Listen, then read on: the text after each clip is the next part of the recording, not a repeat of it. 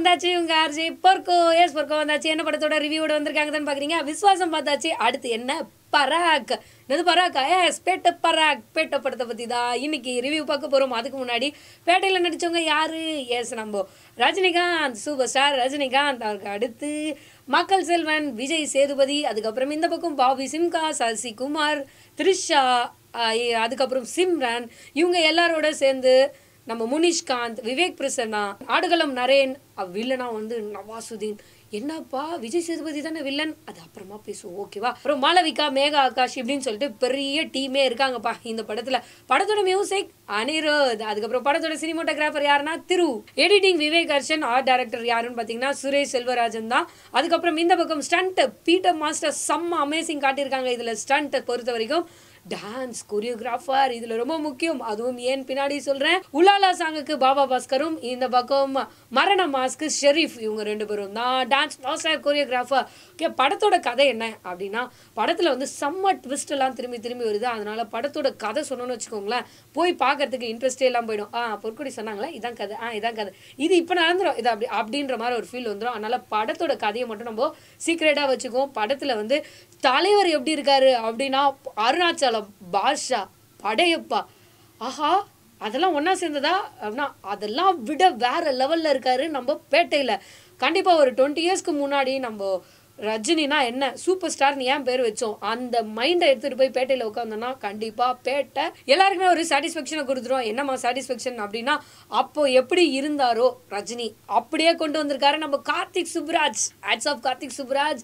கார்த்திக் சுப்ராஜ் வந்து ரஜினியை வந்து ஒரு ரசிகனாவே பார்த்திருக்காரு. அதாவது ஒரு அவர் அவரோட ரசிகனாவே இருந்து செதுக்கி வச்சிருக்கா ஒவ்வொரு சீனையும் அப்படின்னு தான் சொல்லி ஆகணும். ஏன்னா ஒவ்வொரு சீன்லையும் நம்ம ரஜினி இப்படிலாம் பார்க்கணும் இப்படிலாம் பார்க்கணும் மாசா பார்க்கணும் எதிர்பார்க்கலாம் அது எல்லாமே கொடுத்துருக்காங்க. ஓப்பனிங் கார்டே அந்த சூப்பர் ஸ்டார் ரஜினி அப்படின்னு வரும்போது டன் டன் டன். அப்படி வரும் பார்த்தீங்களா அந்த மியூசிக் படம் மாதிரி யா யா யா அப்படின்னு கத்தணும் போல தோணுச்சு. பட் நான் போன தேட்டர் அந்த மாதிரி கத்தமும் சைலண்டாக பார்க்க வேண்டியதாயிடுச்சு. அதனால அப்படியே தான் பார்த்தோம். அதுக்கப்புறம் சூப்பர் ஸ்டார் அந்த சின்ன வயசுலேருந்து அப்படியே கொஞ்சம் ஏஜ் ஆன பிறகு எப்படி இருக்காரு? அதுலேயும் வந்து காஸ்டியூம்லாம் சொல்லி ஆகணுங்க. வேட்டி போட்டு அதில் செம்ம கிளாஸ் மிஸ் அப்படி வச்சு அதெல்லாம் செம்ம கிளாஸ் அதுக்கப்புறம் பார்த்தீங்கன்னா அவர் அப்படியே அந்த ஓவர் கோட் போட்டு. ஒரு ஹாஸ்டலோட வார்டனா காமிச்சிருக்காங்க. அதுவும் செம்மையா இருக்கு. அடுத்து பாபி சிம்கா. செம்ம கியூட் ஆல்ரெடி பாபி சிம்கா. இன்னும் அப்படியே ஜிகர் தண்டாக்கு ஆப்போசிட்டா இருக்காரு. அப்படியே ஷிவ்லாம் பண்ணி ஒரு கியூட்டா சாக்லேட் பாய் மாதிரி பண்ணியிருக்காரு விஜய் சேதுபதி.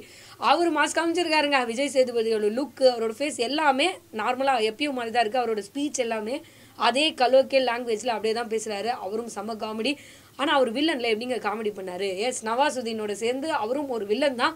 ஆனால் அது எப்படி ட்விஸ்ட் ஆகுது? வில்லன் வந்து ஒன்றா சேர்றாரா? இல்லை விஜய் சேதுபதி என்ன ஆனாரு? இதெல்லாம் வந்து பயங்கர பயங்கர ட்விஸ்ட் கொண்டு போயிருக்காங்க. ஃபர்ஸ்ட் ஹாஃபில் கொஞ்சம் விறுவிறுப்பாக வந்தாலும் செகண்ட் ஹாஃப் வந்து கொஞ்சம் அப்படியே ஸ்லோவாக போச்சு. இருந்தாலும் ட்விஸ்ட் மேலே ட்விஸ்ட் மேலே ட்விஸ்ட் கொடுத்து இதுவாக இருக்குமா அப்படின்னு நினைக்கும் போது இது இல்லைங்க அது. அதுவாக இருக்குமா? இல்லைங்க அது அப்படின்னு சொல்லிடுறாங்க. ஒட்டுமொத்தமாக படத்தோட ரிவ்யூ சொன்னால் இது தலைவரோட படம் தான் சத்தியமா அப்படின்னு சொல்லலாம். கிளைமேக்ஸ் மட்டும். கார்த்திக் சுப்ராஜ் படங்க. என்னம்மா இப்படி சொல்லிட்ட? பீஸா படம் பார்த்துருக்கீங்களா? கடைசியில் என்ன மாதிரி ட்விஸ்ட் இருக்கும்னு? அதே மாதிரி ஒரு ட்விஸ்ட் இங்கேயும் கொடுத்துட்டாரு நம்ம கார்த்திக் சுப்ராஜ் பட் அதுலேயும் வந்து சூப்பரான இடத்துல ட்விஸ்ட்டை கொடுத்து வச்சிருக்காரு. நம்ம எதிர்பார்க்காத ஒரு விஷயத்த அவரும் கொடுத்துருக்காரு. செம்மையா இருக்குது அதுக்கப்புறம் ஓகே ட்விஸ்ட் ட்விஸ்ட்டுன்றியே அதுவே ட்விஸ்ட் ஆகுது பாருங்க. என்ன மாதிரி ட்விஸ்ட் அப்படின்னு தானே கேட்குறீங்க ஒரே ஒரு க்ளூ தரேன். யாருக்கும் சொல்லாதீங்க. ஓகே என்ன க்ளூ தெரியுமா? செக்கச்சவந்த வானம் படம் பார்த்தீங்களா கிளைமேக்ஸ் பார்த்தீங்களா ஓகே நான் கிளைமேக்ஸை பற்றி எதுவுமே சொல்லவே இல்லை. புரிஞ்சிடணும்னு நினைக்கிறேன். யாருக்கும் சொல்லாது. ஓகேவா ஸோ இந்த மாதிரி படத்தை ரொம்ப அழகாக அருமையாக தலைவருக்காகவே செதுக்கி செதுக்கி ஒவ்வொரு சீனும் வச்சுருக்காங்க. காஸ்டியூம் பற்றி பேசியாச்சு. சாங்ஸ் பற்றி கண்டிப்பாக பேசி ஆகணும் பழைய பாடல். ராம ஆண்டாலும் ராவண ஆண்டாலும் எனக்கு ஒரு கவலையும் இல்லை. நீ எப்படி டான்ஸ் பண்ணுவாரோ அதே டான்ஸ் இதில் அந்த பாட்டுக்கு கொடுத்துருக்காரு. அதுக்கப்புறம் மரண மாஸ் பேட்ட பராக் இதுக்கெல்லாம் வந்து அப்படியே தூசி கிளம்பு இருக்கு. செம்மையா டான்ஸ் அடிக்கிறார் நம்ம தலைவரை சூப்பராக டான்ஸ் பண்ண வச்சிருக்கேன். அவர் அப்படி ஒரு ஸ்டெப் ஆடுவார் பார்த்தீங்களா? இந்த ஸ்டெப்லாம் மறுபடியும் back to form S Kaala Kabali two point two இதிலெல்லாம் நம்ம ரஜினியை பார்த்தாலும் பேட்டை அப்படின்னு பார்க்கும்போது தான் ரஜினி வந்துட்டாரு அப்படின்னு தோணுது. அந்த மாதிரி ஒரு படம் தான் கொடுத்துருக்காரு. நம்ம கார்த்திக் சுப்ராஜ் கண்டிப்பாக தலைவர் ஃபேன்ஸுக்கு மட்டும் இல்லை ஒட்டுமொத்த எல்லாருக்குமே இந்த படம் பிடிக்கும். ஓகே இந்த படத்தோட வில்லன் நவாசுதீன் சொல்லிட்டோம். அவர் எப்படி ஒரு பாசிட்டிவான வில்லனா ரொம்ப எதிர்பார்க்கலாமா? அப்படின்லாம் நீங்கள் கேட்டிங்கன்னா இதுக்கு மட்டும் ஒரே ஒரு பாயிண்ட் சொல்கிறேன் எல்லாமே டிஷும் டிஷும்னு இருக்கிறதால கொஞ்சம் வில்லனுக்கான ஒரு சில விஷயங்கள் லோவாக இருக்க மாதிரி ஒரு சின்ன நெகட்டிவாக தோணுது.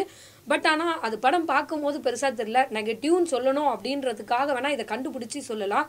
அவங்களுக்கு வில்லனுக்கும் இவருக்கும் நடுவில் பெரிய ஃபைட் இல்லை. பட் அதுக்கு நடுவில் நிறைய நிறைய ஆட்களோட பயங்கரமான ஃபைட்ஸ் இருக்குது பாபி சிம்ஹா தனியாக ஃபைட்டு விஜய் சேதுபதி தனியாக ஃபைட்டு இவங்க எல்லாரும் சேர்ந்து ஒரு ஃபைட்டு இது எல்லாமே ட்விஸ்ட் ஆகி ட்விஸ்ட் ஆகி வந்து ஏன் இவர் ஹாஸ்டல் வார்டனாக வந்தார்? அந்த இடத்துல ஏன் ஃபைட் வருது?